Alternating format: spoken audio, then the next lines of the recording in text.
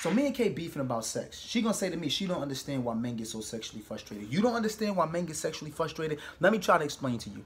I give you the opportunity to buy the ultimate red bottoms. It costs $100,000 because it morphs into any shoe that ever existed in life. It's like Dorothy's shoe mixed with Cinderella's shoe. You click the heels, it's like you at the Met Gala every day. You straight stunting on bitches. The only thing is, you can't try on or buy any other shoe ever again in life till death do you part. And you got to get rid of all your other shoes. You can only have one shoe. You want me to buy the shoe? She says buy the shoe, Devale. So Devale buys the shoe.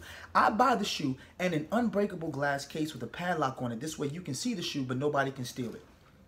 The problem is, anytime you go to put the shoes on, I change the combination to the lock.